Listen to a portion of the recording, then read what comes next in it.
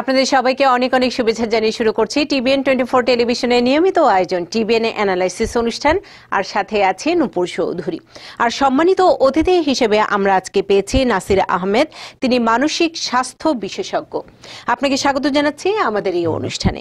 সেই সাথে দর্শক, আমরা আজকে কথা বলব ডোমেস্টিক ভায়োলেন্স অর্থাৎ পারিবারিক কলহ এই বিষয়টি নিয়ে। আপনাদের যদি এই সংক্রান্ত কোনো প্রশ্ন থাকে থাকে কোনো মতামত, তাহলে আপনারা আমাদের সাথে সরাসরি যুক্ত হতে পারেন। আমরা সরাসরি আছি six four six three zero seven nine eight two এইটে এই নম্বরে। এছাড়া সরাসরি আছি ফেসবুকে W dot Facebook dot com slash TBN twenty four USA Nasir Ahmed আমরা বলেছি যে পারিবারিক কলহ যে বিষয়টি সেটি নিয়ে আমরা আলোচনা করব। এটির ব্যাপকতা ফলাফল কি কারণে হয়? বিশেষ করে আমরা যারা ইমিগ্রেন্ট হয়ে আসি নতুন একটি দেশে অ্যাডজাস্টমেন্টের বিষয়গুলো আছে।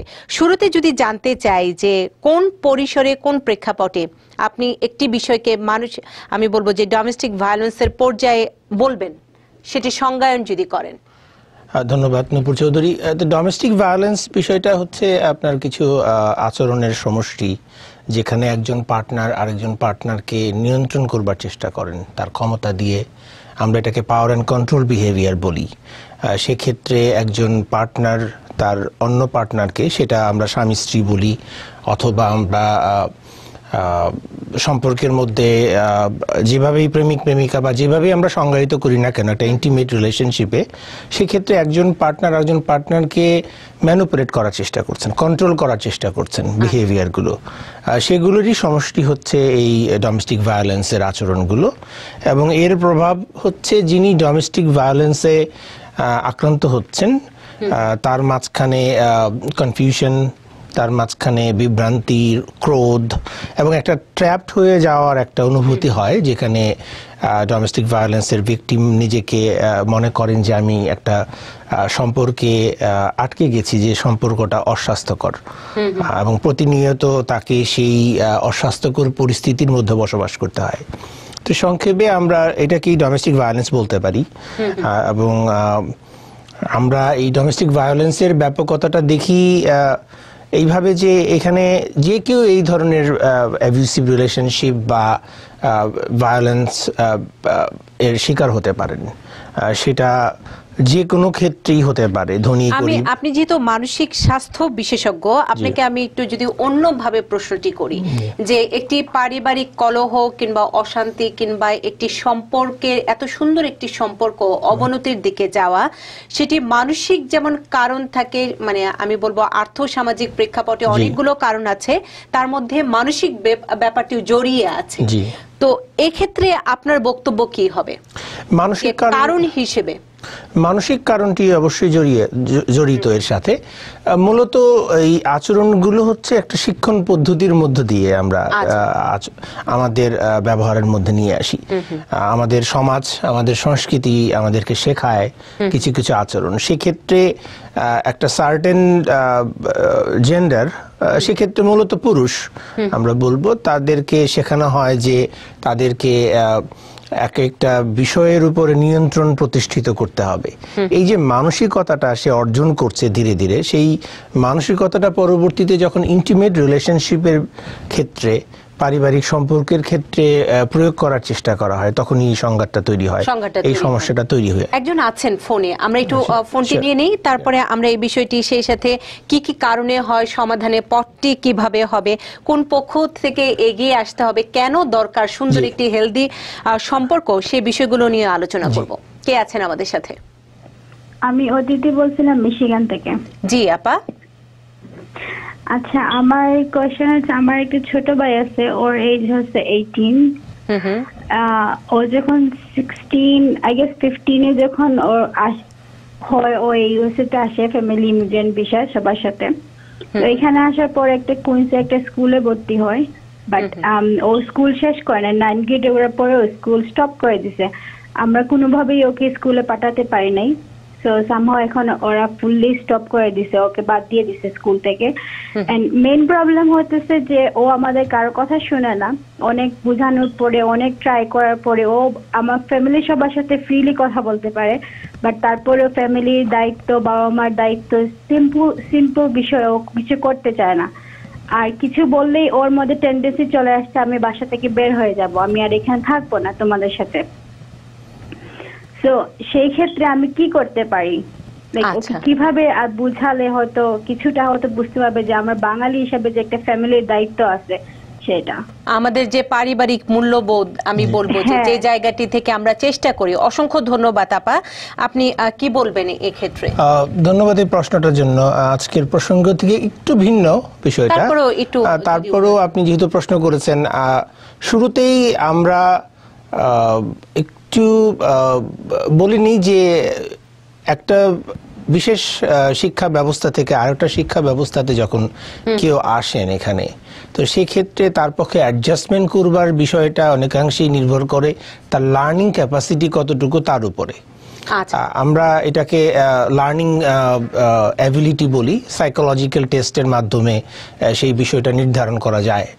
তো শুরুতেই যদি আপনার যে ভাইটি ষোলো বছরে পড়াশোনা শুরু করেছিল এবং আঠারো বছর নাগাদ এসে তাকে স্কুল সিস্টেমের নিয়ম অনুযায়ী বেসিক্যালি তাকে স্কুল থেকে বের করে দেওয়া হয়েছে। কিন্তু তারপরেও তার শিক্ষার সুযোগ আছে শেখার সুযোগ আছে। তো সেক্ষেত্রে প্রথমত আমি সাজেস্ট করব আপনার একটা সাইকোলজিক্যাল ইভ্যালুয়েশন করাতে পারেন যে তার কতটুকু লার্নিং অ্যাবিলিটি আছে। দ্বিতীয় বিষয় হচ্ছে যে আমরা পারিবারিকভাবে তাকে সাপোর্ট দেওয়ার চেষ্টা করছি। তারকে কনফ্রন্ট করার বা তাকে কোনো একটা সংঘাতের দিকে নিয়ে যেতে চাই না। তার প্রতি আমাদের যে ক্যারিং অ্যাটিচিউড সেটা আপনারা প্রকাশ করবেন ইতিবাচকভাবে যে আমরা চাচ্ছি যে তোমার জন্য যেন একটা কেরিয়ার বিল্ড আপ হয়। নাসির আহমেদ, আমি যদি ছোট্ট করে আপনাকে থামি উনার প্রসঙ্গের জের ধরেই জানতে চাই যে অনেক সময় পরিস্থিতি এমন হয় যে আঠারো বছরের একজন কিশোর আমি বলব এক্ষেত্রে তাকে বোঝানোর সক্ষমতা পারিবারিকভাবে অনেক সময় হারিয়ে ফেলে। পরিবারের যে সদস্যগুলো। এবং এখানে ভুল বুঝাবুঝির একটি জায়গা তৈরি হয়। যেমন সে যেমনটি ভাবে ওই কিশোরটি যে সে যা ভাবছে সেটি সঠিক তার পরিবার যেটি ভাবছে সেটি সঠিক না। তো এক্ষেত্রে পরিবারের সদস্যরা যখন ব্যর্থ হচ্ছে তাকে বোঝানোর জন্য তখন তাদের কি করণীয়? কারণ এরকম পরিস্থিতি তৈরি হয় তখনই যখন পারিবারিকভাবে আমরা দেখি যে পরিবারের যে সদস্যগুলো আছে, আমরা ইতিবাচকভাবে তাকে বোঝানোর চেষ্টা করি যে আমরা ইতিবাচক চাচ্ছি, তার ভালো চাচ্ছি, কিন্তু সেই জায়গাটিতে এসে আমরা ব্যর্থ হই যে সে বুঝতে পারে না যে তার পরিবারের সদস্যরা ভালো কাজটি করতে চাচ্ছে তার জন্য। তো সেক্ষেত্রে পরিবারের সদস্যের বাইরে কি তারা কোনো হেল্প কিংবা কোনো ধরনের সহায়তা সেই জায়গাটি আছে কিনা? সুন্দর প্রশ্ন। আপনি একটা সমন্বয়ের কথা বলেছেন যে যারা আঠারো হয়ে যাচ্ছে বা পরিবার চাচ্ছে দুজনের দুই পক্ষের কমিউনিকেশনের একটা সংযোগ হচ্ছে না। তো এর প্রধানত কারণ হচ্ছে যে যিনি আঠারো বছর বয়স বা যার আঠারো বছর বয়স ডেভেলপমেন্টালি যদি আমরা দেখি সেই সময়টাতে অন্য মানুষের মতামত গ্রহণ করবার প্রবণতাটা একটু কমই থাকে। সেক্ষেত্রে সবাই নিজের মতামতের উপরে ভরসা রাখতে চায়। আবার একই সাথে এই দেশের আইন সুযোগ করে দিয়েছে আঠারো বছরের পরে যে কেউ তাকে স্বাধীনভাবে স্কুল থেকে সাইন আউট করতে পারবে। ফলে পরিবার চাইলেই আহ, তাদেরকে করতে পারে। না। সেক্ষেত্রে আমরা ফ্যামিলি মেম্বারদেরকে সাজেস্ট করি যে আপনারা উদ্যম হারাবেন না। আপনাদের অবস্থানটি সঠিক। এবং আপনারা ক্রমাগতভাবে আপনাদের বিষয়গুলো বলতে থাকুন। আমরা এটাকে ব্রোকেন রেকর্ড বলি। একটা নির্দিষ্ট জায়গা থেকে শুরু হয়ে একটা নির্দিষ্ট জায়গায় শেষ হচ্ছে। এই বিষয়টা আপনারা তাকে ক্রমাগত বলার চেষ্টা করুন। এবং তার সামনে একটা লক্ষ্য তুলে দেন যেটা সে অর্জন করতে পারে। সেই লক্ষ্যটা অর্জন করবার ক্ষমতা তার আছে কিনা তার জন্যই আমাদের কিছু টেস্ট করে নেওয়া দরকার। প্রয়োজনে আপনারা কোনো কাউন্সিলিং এর আহ, সহায়তা নিতে পারেন, কোনো পেশাজীবীর সাথে এই বিষয়টা নিয়ে আলোচনা করতে পারেন। স্কুলের গাইডেন্স কাউন্সিলর এই ব্যাপারে হেল্প করতে পারে। ভোকেশনাল কাউন্সিলর যারা আছে, তারা একজন মানুষের কতটুকু যোগ্যতা এবং সেই অনুযায়ী কোন পেশাটা তার জন্য ভালো হয় সেটা বলে দিতে পারেন। সেই ধরনের সুযোগ সুবিধাগুলো আপনারা নিতে পারেন। তবে আপনাদের অবস্থানটি সঠিক। অবস্থানটি ইতিবাচকভাবে অবস্থান নেওয়া। অবস্থান নেওয়া আমরা কথা বলছিলাম পারিবারিক কলহ এই বিষয়টি নিয়ে এবং আমরা ছিলাম হচ্ছে কি কি কারণে এবং মানসিক যে একটি কারণ এক্ষেত্রে জড়িয়ে আছে আপনি সেটির ব্যাখ্যা দিচ্ছিলেন। সেই জায়গা থেকে আবার শুরু করতে চাই।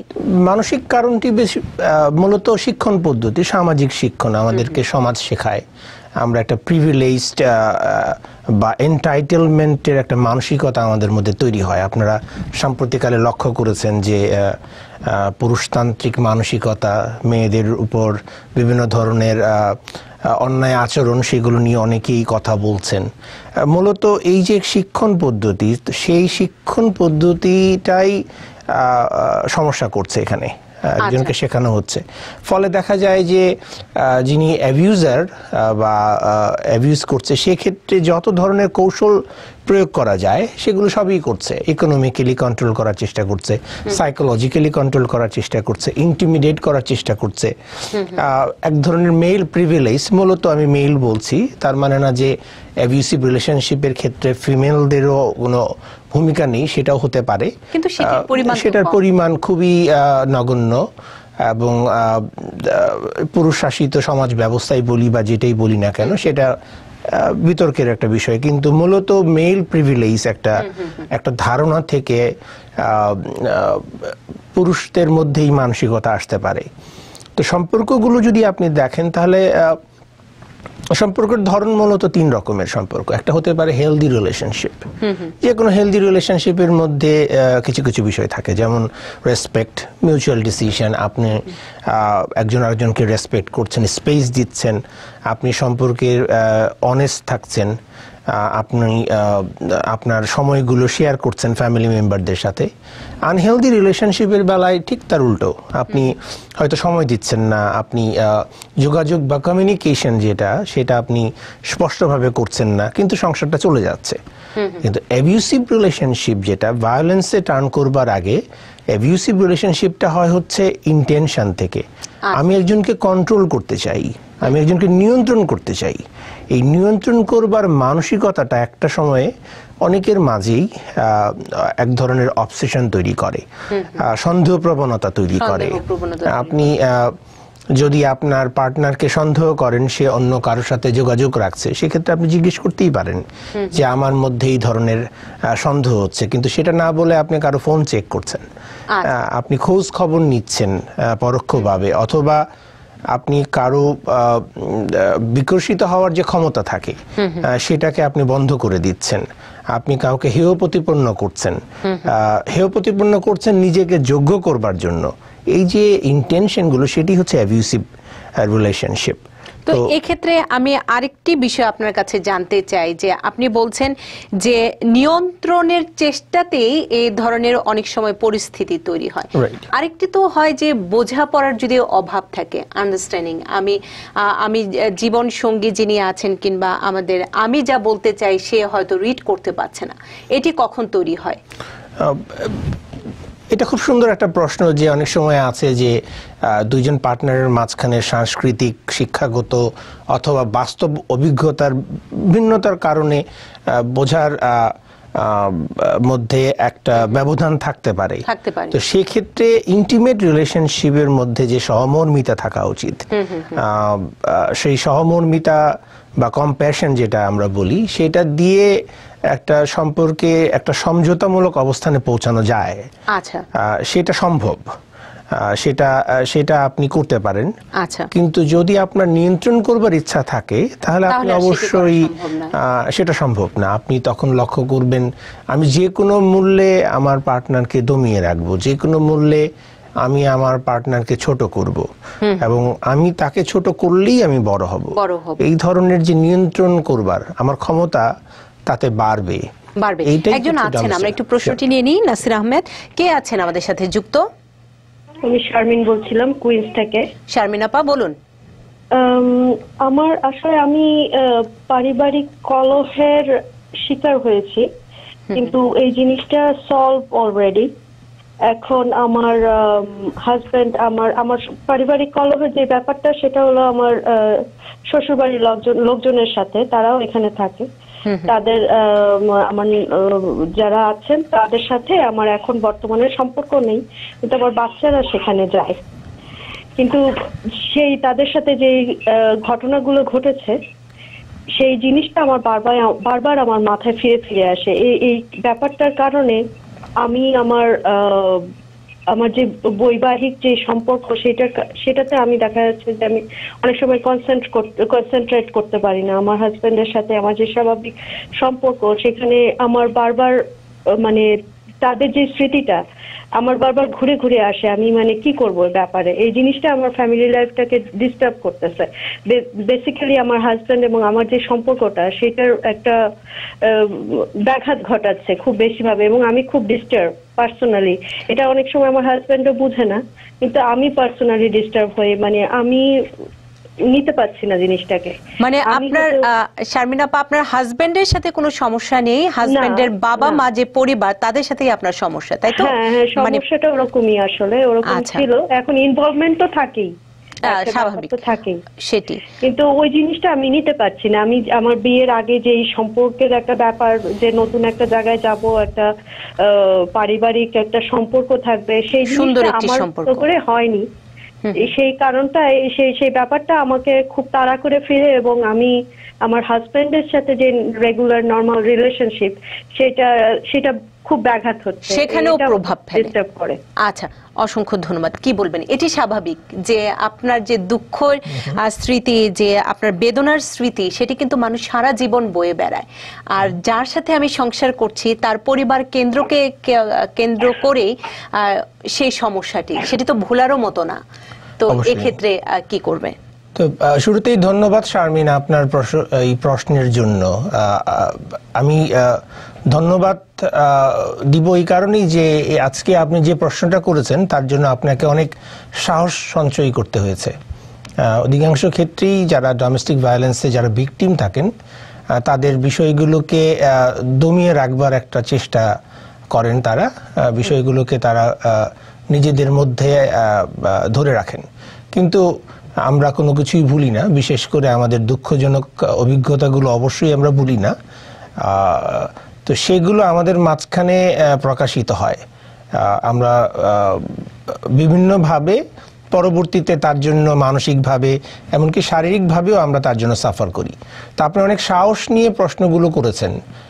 সেইটা, সেটা আপনার স্ট্রেংথ সেই স্ট্রেংথ থেকে আমি বলব যে এবার যে অভিজ্ঞতাগুলো আছে, সেই অভিজ্ঞতাগুলোকে আপনাকে প্রসেস করতে হবে শেয়ার করতে হবে। সেই শেয়ার করবার মাঝখানেই আপনি আপনার কোপিং মেকানিজমগুলো দাঁড় করাতে পারবেন। এই বিষয়গুলো আপনার মাঝখানে ফেরত আসবেই এবং আপনার হাজবেন্ডকে সেই বিষয়গুলোকে বুঝিয়ে বলতে হবে। এবং যে মুহূর্তে আপনার মাঝে এই অভিজ্ঞতাগুলো ফেরত আসবে, সেই সময় আপনার যে আচরণগুলো হবে, সেই আচরণকালীন সময়ে আপনার হাজবেন্ড বা আপনার সাপোর্ট সিস্টেম আপনাকে কতটুকু সহযোগিতা করছে তার উপরে নির্ভর করবে আপনি কত দ্রুততম সময়ের মধ্যে স্বাভাবিক আচরণে ফেরত যেতে পারবেন। আমরা যারা মানসিক স্বাস্থ্য নিয়ে কাউন্সেলিং এর কাজ করি, আমরা প্রায়শই যারা ভিকটিম তাদের মাঝখানে এই ধরনের অভিজ্ঞতাগুলো দেখি অনেকটা ট্রমাটিক একটা বিষয় হয়ে দাঁড়ায়। এই বিষয়গুলো বারবার ফেরত আসতে থাকে। আমরা সিমটমস ম্যানেজমেন্ট করার কথা বলি এবং কাউন্সিলরদের সাথে যোগাযোগ করার কথা বলি। তো আমি ধন্যবাদ। আমি যদি শারমিন আপার প্রসঙ্গের জের ধরে আরেকটি প্রশ্ন করতে চাই তবে আমি বিরতির পর এসে সেই প্রশ্নটির উত্তর নিব। সেটি হচ্ছে যে যে যিনি আমার সবচেয়ে বড় সাপোর্টার মানে তার হাজবেন্ড তার পরিবার এবং তারই হচ্ছে খুব ঘনিষ্ঠ মানুষ হয়তো তার বাবা মা কিংবা তার বোন কিংবা তার ভাই তো আমার যিনি সবচেয়ে বেশি কাছের মানুষ তার কাছে আমি কীভাবে এত শেয়ার করতে পারব তার কাছের মানুষগুলো নিয়ে? এটি তো অনেক সময় নেতিবাচক এবং অন্যভাবে কিন্তু এটিকে মূল্যায়ন করা হয়। অবশ্যই কারণ শুরুতেই যে কথাটা বলা যায় যে আপনার বা শারমিন উনি যিনি বললেন ওনার হাজব্যান্ড ওনার পরিবার থেকে বিচ্ছিন্ন কেউ না। তো সেক্ষেত্রে যদি আমরা বলি যে আমার সম্পর্কটা আমার হাজবেন্ডের সাথে না আমার হাজবেন্ডের ফ্যামিলি মেম্বারদের সাথে। সেক্ষেত্রে বেসিক্যালি আমি একটু মিনিমাইজ করছি। আমি একটু সমস্যাটা আমার হাজবেন্ডের যার উপর আমার এক্সপেকটেশনটা সেটাকে আমি একটু কমিয়ে বলছি। কিন্তু শুরু থেকে স্পষ্ট করে এর দায় দায়িত্বটা অনেকাংশে হাজবেন্ডের উপরই বর্তায়। মানে হাজবেন্ডকে নিতে হবে। হাজবেন্ডকেই নিতে হবে। তো এটা একটু মিনিমাইজেশন করবার প্রবণতা ওনার স্টেটমেন্টের মধ্যে ছিল। কিন্তু সেটা আবার একদিক থেকে ওনার স্ট্রেংথও বটে। উনি উনি এর মাঝে প্রকাশ করেছেন ওনার হাজবেন্ডের প্রতি ওনার কমিটমেন্টটা এর মাঝখানে উনি প্রকাশ করেছেন ওনার হাজবেন্ডের প্রতি ওনার যে ভালোবাসাটা আছে সেটা। এবং উনি চাইছেন সম্পর্কটা স্বাভাবিক হোক। এবং উনি শুরুতেই বলেছেন যে সমস্যাটার সমাধান হয়েছে কিন্তু ওনার উপরে প্রভাবটা রয়ে গেছে। এবং সেই প্রভাবটা থেকে উনি নর্মালি ফাংশন করতে পারছেন না। তো সেই কারণেই আমি ওনাকে বলেছি যে ওনার অবস্থানটা অত্যন্ত স্পষ্ট। সাহসী অবস্থান এবং সেক্ষেত্রে উনি বিষয়টাকে রিয়েলাইজ করতে পেরেছেন। এখন ওনার জন্য যেটা করণীয় সেটা হচ্ছে সেই পরিস্থিতিতে কীভাবে কোপ করা যায় সেই কোপিং মেকানিজমগুলো সেই কোপিং স্কিলগুলো বাড়ানো বাড়ানো। সেই বিষয়টা। আমরা একটা ছোট্ট বিরতিতে যাই। বিরতির পর এসে আবারও এই বিষয়টি নিয়ে আলোচনা করব সেই সাথে সমাধানের পথ এবং সম্পর্ক কীভাবে সুন্দর রাখা যায় বিশেষ করে আমাদের প্রবাসী জীবনে। আমরা যারা অনেক কষ্ট করি এত ব্যস্ততা সময়ের একটি বিষয় আছে সবকিছু মিলিয়ে। প্রিয় দর্শক আপনারা দেখছেন টিবিএন অ্যানালাইসিস অনুষ্ঠানে এ পর্যায়ে সময় হয়েছে। ছোট্ট একটি বিরতি নেবার। আমাদের সাথেই থাকুন। আবারও আমন্ত্রণ জানাচ্ছি টিবেন অ্যানালাইসিস অনুষ্ঠানে এবং সম্মানিত অতিথি হিসেবে আছেন আমাদের সাথে একজন মানসিক স্বাস্থ্য বিশেষজ্ঞ নাসির আহমেদ। আমরা কথা বলছিলাম পারিবারিক কলহ এবং প্রশ্নও করেছেন। আমি আরেকটু জানতে চাই শারমিন আপার প্রশ্ন ধরে সেই সাথে আমাদের যে মূল্যবোধ আমাদের যে সংস্কৃতি সব কিছুই যেমনটি বলে যে আমরা আস্তে আস্তে যৌথ পরিবার থেকে একক পরিবারে আসলেও আমাদের যখন বিয়ে হয় একটি ছেলে একটি মেয়ে তার সাথে কিন্তু দুই পরিবারের একটি মেলবন্ধনও ঘটে। এটি যেমন খুব মানে আমি বলব ইতিবাচক, আবার কিছু নেতিবাচক দিকও কিন্তু আছে। অনেক সময় দেখা যায় যে দুজনের মধ্যে আন্ডারস্ট্যান্ডিং ভালো থাকলেও আশেপাশের মানুষগুলোর জন্য সেটি দুপক্ষের পরিবারের থেকে কেউ না কেউ হতে পারে, যে সম্পর্কে তখন তিক্ততার জন্ম নেয়। তখন এটিও হয় যে যেহেতু দুজনের রিলেশন কিন্তু হয়তো কারও বাবা কিংবা কারও মা কিংবা কারও বোন কিংবা কারও ভাই। তখন আমার যে কাছের মানুষটি ভালোবাসার মানুষটি তার কাছেও তো তার মায়ের নামে কিংবা বোনের নামে কিংবা ভাইয়ের নামে অভিযোগ দিতেও তো অস্বস্তি হয়। কিংবা আমাদের যে মূল্যবোধ আমাদের সংস্কৃতি সেটাও কিন্তু সমর্থন করে না। এবং তখন যে আমার ভালোবাসার মানুষটি সেও কিন্তু বুঝতে চায় না যে তার মায়ের নামে কিংবা বোনের নামে এই অভিযোগগুলো এভাবে কেন করা আমাদের একটা সংস্কৃতির একটা অংশ যৌথ পরিবার। প্রয়োজনে আমরা আমাদের সংসারগুলো ছোট হয়ে আসতেছে। নিউক্লিয়ার ফ্যামিলি হচ্ছে আমাদের সেটা বেসিক্যালি নগরায়ন হচ্ছে বিভিন্ন কারণে। তো তাতে যেটা হয় যে পারিবারিক মূল্যবোধ তো থেকেই যায়। একই সাথে পরিবারের এক একজন সদস্য আরেকজন সদস্যের উপরে তাদের প্রত্যাশাগুলো ধরে রাখেন। আমি এটাও একটা হেলদি রিলেশনশিপের একটা প্র্যাকটিস আচ্ছা। আমরা একটা হেলদি বা আনহেলদি অথবা একটা সাকসেসফুল রিলেশনশিপ এবং একটা আনসাকসেসফুল রিলেশনশিপের মধ্যে তফাতগুলো কীভাবে বলি? একটা সফল দম্পতি দশটা সমস্যা ফেস করেন। তার মাঝখান থেকে তারা হয়তো ছয়টা সমস্যার সমাধান করতে পারেন। তাহলে তাদের সাকসেস রেট হচ্ছে সিক্সটি পার্সেন্ট ধরে নিই অঙ্কের ভাষায়। আর একটা ব্যর্থ দম্পতি হয়তো দুটো সমস্যা ফেস করেন তার কোনোটাই তারা সমাধান করতে পারেন না। ফলে তাদের সফলতার রেট হচ্ছে শূন্য পার্সেন্ট তো এই যৌথ পরিবার পরিবারের অন্য সদস্যদের উপস্থিতি সেটা হবেই সেটা স্বাভাবিক এবং সেই ক্ষেত্রে মতবিরোধ হবে এবং আমরা তাকিয়ে থাকব একজন আরেকজন ভালোবাসার মানুষের প্রতি যে তারা আমার মনোভাবটা বুঝতে পারবে। আহ, তো সেই বোঝাটা সেই অ্যাকনলেজমেন্টটা প্রথমত প্রয়োজন। যে স্বীকার করে নেওয়া যে আমি বুঝতে পারছি যে আমার ইনলস বা আমার নিজের পরিবারের সদস্যরা কিছু বিষয় উত্থাপন করেছে যেগুলো আপত্তিকর। আপত্তিকর। আমরা ফোনে আছি একটু নিয়ে. আহ, দুঃখিত আপনাকে আলোচনার মাঝখানে আমাকে থামাতে হলো। খুব সুন্দর করে ব্যাখ্যা দিচ্ছেন। কে আছেন আমাদের সাথে যুক্ত? আসসালামু আলাইকুম। আপা আমি সানি সাইড থেকে হোসেন বলছিলাম। জি হুসেন ভাই। নাসির স্যার কাছে আমি একটা পার্সোনাল প্রশ্ন রাখলাম। প্রশ্ন লাগে স্যার লাইফের বিভিন্ন সাইড থেকে যেভাবে আপনি তুলে ধরলেন রিয়েলি মানে এটা একটা অন্য ধরনের আমাদের শিক্ষা এবং শিখতেও পারলাম। তো ব্যাপারটা একটা প্র্যাকটিক্যাল ব্যাপারই বলি বাস্তব সত্য ঘটনা। আমরা তো সবাই বিয়ে করি সংসার করার জন্যই। আহ, কোনো না কোনো ফ্যামিলিতে পিছু টান থাকবেই। সেটা মেয়েরও থাকতে পারে ছেলেরও থাকতে পারে। তো কোনো ছেলেই কিন্তু চায় না যে তার ওয়াইফ সারা জীবনের জন্য তার থেকে ডিটাচ হয়ে যাক। হয়তো ভুল বোঝাবুঝি হয় কিন্তু এর মাঝখানে ধরেন আমার ওয়াইফের ফ্যামিলিরা ইন্টারফেয়ার করতেছে প্রতিনিয়তই। যার ধরুন আমার সংসারটা মনে করেন এখন থেকে দশ বছর আগে ভেঙে গেছে কিন্তু আমার বিয়ের বয়স লেগে ফোরটিন ইয়ার্স তো আমেরিকাতে এই যেমন ধরেন এই ঘটনাটা ঘটছে। এখন এর যে ঘটনা ঘটে গেছে লাইফে সেটা আর পুনরাবৃত্তি না করা ভালো। কিন্তু নতুন করে যে আবার ভাববো, নতুন করে যে আবার সাহস করে আমারও তো একটা পার্টনার দরকার লাইফে কারণ অ্যালোন লাইফ তো কাটানো খুবই টাফ কথা বলার জন্য কিংবা যাই হোক অ্যালোননেস কাটানোর জন্য হলো। কিন্তু ওই যে সাহসটা, যে বিশ্বাসটা হারাইছি, সেটাকে কীভাবে আর ফিরে আনব, আমি এইটার উপরে আপনার কাছ থেকে জানতে চাইতেছি। আচ্ছা। কি বলবেন? যে নতুন করে শুরু হওয়ার সাহসও অনেক সময় হারিয়ে ফেলেন মানুষ। ধন্যবাদ। হোসেন সাহেব আপনি আপনার মনের কথাগুলো বলেছেন। আপনার অভিজ্ঞতা যা হয়েছে তার প্রতি সহমর্মিতা রইল। কিন্তু আপনি বলেছেন যে প্রয়োজনটা কি? আপনার প্রয়োজন একজন সাথী আহ, আপনার প্রয়োজন একজন সঙ্গী যার সাথে আপনি আপনার আহ, সুখ দুঃখ আনন্দগুলো শেয়ার করতে পারবেন। প্রয়োজনটা দেখুন এবং প্রয়োজনটা দেখে সে অনুযায়ী আপনার মধ্যে পথ চলতে শুরু করুন। তাতে যেটা হবে যে জীবনের প্রতিটি অভিজ্ঞতাই নতুন। আপনি হয়তো মনে করছেন যে আবার যদি আপনি কোনো সম্পর্ক শুরু করতে চান বা শুরু করেন তার পরিণতি সেই পুরনো সম্পর্কটার মতোই হবে। এই যে ধারণাটা আপনার মধ্যে রয়ে গেছে সেই ধারণা থেকে বেরিয়ে আসার চেষ্টা করুন। আমাদের প্রতিটি সম্পর্কই নতুন। আমি আমার অভিজ্ঞতা থেকে বলি, প্রায় এই বিষয়টা নিয়ে বিশ বছরের মতো কাজ করে আমি বলতে পারি যে আমি এখন পর্যন্ত দুটো একই রকম পরিবার দেখিনি।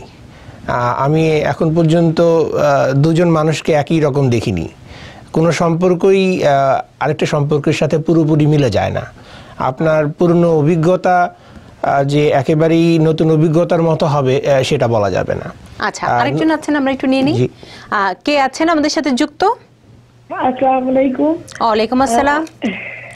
আমি ব্রুকলিন থেকে ফ্লোরা বলছিলাম।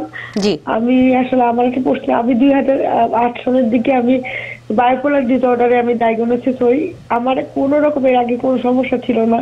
কিন্তু মানে এমন হয়েছে যে আমি আর কি আমার নেটারটা হচ্ছে খুব কোয়াইট ছিল এবং তারপরে আমি আসলে বলা যায় মেন্টালি খুব আর কি পজিটিভ অনেক অনেক ক্ষেত্রে আমি মানে পজিটিভনেস তারপর ম্যানিপুলেশন তারপর অনেক মানে ইউজ তার কারণে আমি অনেক দিক দিয়ে আর কি কারণে আমি মানে ফ্রেশ মতো ব্রোক হয়ে যায় তোমার ডাক্তার বলে তুমি বায়োপোলার ডিসঅর্ডার আছে তোমার এক বছর আমি ওষুধ খাই।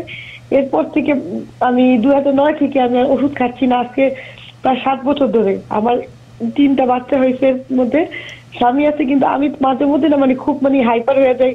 আমি হয়তো তারপর দেখছি আমি মানুষেরা আমার সাথে ঠিক একই আচরণ করে। আমি যত সম্ভব চেষ্টা করি আশেপাশে সবার সাথে আর কি একদম খোলামেলা ভাবে মিশতে সবাই যতটুকু ইউজ করে এবং মানে এমন ধরনের সব মানে ই করে যে শেষ পর্যন্ত আমি মানসিক ভাবে একদম মানে ই হয়ে হয়েছে তো আমি বলতে চাচ্ছি যে এটা কি আমার কি নেচারের জন্য কি এমন হচ্ছে নাকি আমার মানে ইয়ে পুরনো অনেক মানুষ আমার সাথে, অনেক মানে ছোটবেলা থেকে আমি একটুখানি মানে খুব মানে উদার মনের আমি ঠিক নিজে বলতে চাচ্ছি না বাট আমি অনেক ব্যবহার আচরণে সবাই মাঝে মধ্যে সেই প্রভাবটা আমার স্বামীর উপর প্রভাব পড়ে। আমার স্বামী is my husband is wonderful person কিন্তু তারপরে আমি তার সাথে খুবই অ্যাগ্রেসিভ মাঝে মধ্যে আচরণ করি।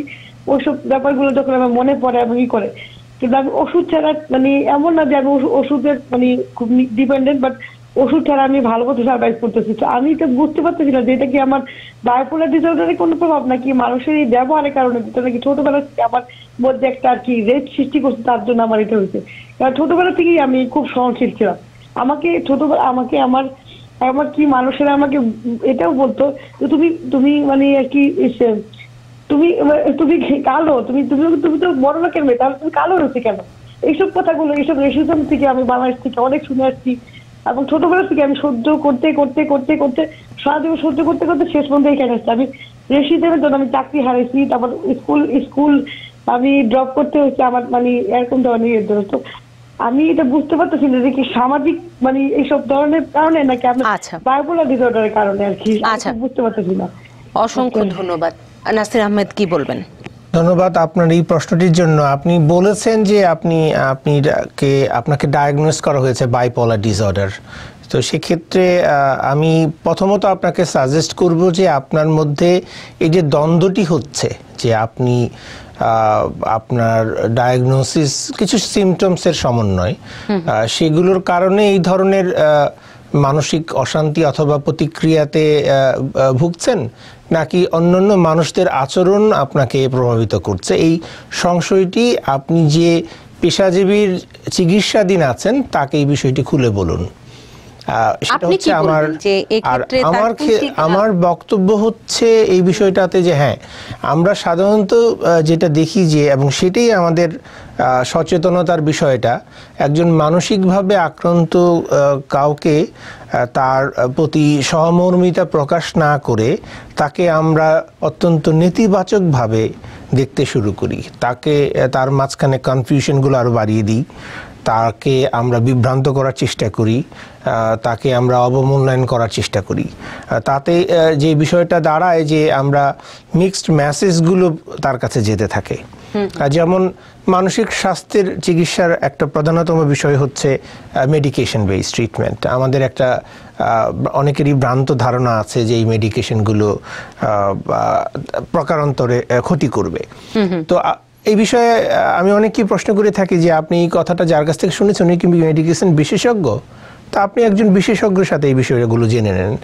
অথবা আপনাকে যারা বলছে যে, আমি তো দেখছি তোমার মাঝখানে কোনো সমস্যা নেই। উনি কি এই বিষয়টাতে বিশেষজ্ঞ? নাকি উনি শুধু আপনাকে কিছুক্ষণের জন্য খুশি করার জন্য কথাটা বলে গেলেন? অথবা আপনি ভাবছেন যে অতীতে আপনার যে আচরণ ছিল এখন আচরণটা কেন বদলে গেল?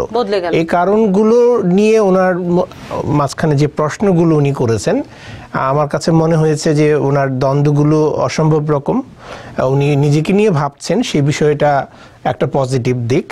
উনি এখান থেকে বের হওয়ার চেষ্টা করছেন সেটা আরেকটা পজিটিভ দিক আমার মনে হয়েছে। কিন্তু আপনাকে এই প্রশ্নগুলো এই দ্বন্দ্বগুলোর সমাধান করতে হবে একজন পেশাজীবীর সাথে বসে। আচ্ছা। সেক্ষেত্রে আহ, আপনার পরিবার বন্ধু বান্ধব তারা আপনাকে শুধুমাত্র নিঃশর্তভাবে সমর্থন দিতে পারেন সাপোর্ট আচ্ছা, করতে পারেন বাট কোনো অবস্থানের দিকে ঠেলে দিতে পারেন না। আপনি কোনো অবস্থানে পৌঁছানোর আগে অবশ্যই একজন বিশেষজ্ঞের সাথে কথা বলে নেবেন। নাসির আহমেদ আমাদের অনুষ্ঠান শেষ করতে হবে। আমরা চেষ্টা করেছিলাম পারিবারিক কলহ বিষয়টি নিয়ে বিস্তারিত আলোচনা করতে। সব শেষ সমাধানের জন্য যদি ছোট্ট করে বলেন যে আমরা সুন্দর একটি হেলদি পরিবার কীভাবে রাখতে পারি। পারিবারিক সমস্যা বা ডোমেস্টিক ভায়োলেন্সের জন্য প্রথমত আমরা বলে থাকি যে এই বিষয়টা ব্যাপকভাবে হচ্ছে আমাদের কমিউনিটিতে আমরা লক্ষ্য করছি আপনারা অনেকেই শুনে থাকবেন যে এর ফলে বাচ্চারা আক্রান্ত হচ্ছে তারা প্রভাবিত হচ্ছে। অ্যাডমিনিস্ট্রেশন ফর চিলড্রেন সার্ভিস থেকে শুরু করে সবাই এর মাঝখানে জড়িয়ে পড়ছে কোর্ট সিস্টেম এসে জড়াচ্ছে। তো এইগুলোর জন্য বিষয়টা আপনারা প্রথমেই কমিউনিকেশন দিয়ে শুরু করুন। আপনার পার্টনারের সাথে বসে এই বিষয়গুলোকে কমিউনিকেট করবার চেষ্টা করুন পজিটিভলি যে কীভাবে একটা সমস্যার সমাধান করা যায়। এই ক্ষেত্রে আপনাদের মনে রাখতে হবে যে আমাদেরকে সমাধান যদি আমরা চাই, তাহলে সেই ক্ষেত্রে নিগোশিয়েট করবার একটা প্রশ্ন আসে কম্প্রোমাইজ করবার একটা প্রশ্ন আসে। আপনার পার্টনারকে অবশ্যই তার বাউন্ডারিজ তার স্পেসটুকু আপনাদের দিতে হবে। মেনে নিতে হবে যে, এখানে সবারই অধিকার আছে এবং আইনগত অধিকারগুলো সবাই প্রয়োগ করতে পারেন। কোনোভাবেই কারও বাউন্ডারিস ভাঙার চেষ্টা করা যাবে না এবং সমস্যা নিজের মাঝখানে না রেখে সরাসরি সেটা প্রকাশ করুন আপনার পার্টনারের কাছে। আলোচনা করতে হবে। পারস্পরিক কমিউনিকেশন যে হচ্ছে শ্রদ্ধাবোধ সে জায়গাটি থাকতে হবে। শুরুতেই আমরা ট্রাস্ট বা অন্য কোনো বিষয়ে তার কাছ থেকে আশা না করে এগুলো কাজের মাধ্যমে ট্রাস্টে পৌঁছানোর চেষ্টা করুন। পৌঁছানো। অসংখ্য ধন্যবাদ নাসির আহমেদ। আমরা চেষ্টা করব পরবর্তীতে এই বিষয়টি নিয়ে আরও বিস্তারিত আলোচনা করতে। যেহেতু আমাদের সময়ের সীমাবদ্ধতা আছে সে কারণে অনুষ্ঠান শেষ করতে হচ্ছে। তবে চেষ্টা করেছি এই বিষয়টিকে এনে আহ, নাসির আহমেদ খুব সুন্দর করে তথ্য উপস্থাপন আপনাদের সামনে উপস্থাপন করেছে। এবং আমরাও চেষ্টা করি টিভিএন টোয়েন্টি ফোর টেলিভিশনে সবসময় চেষ্টা করে বিভিন্ন বিষয়ে ছোটখাটো তথ্য আপনাদের সামনে উপস্থাপন করতে যারা যে বিষয়ে প্রফেশনাল পেশাজীবী, তাদের কাছ থেকে আমরা সেই তথ্যগুলো নিয়ে থাকি। সবাই অনেক ভালো থাকবেন।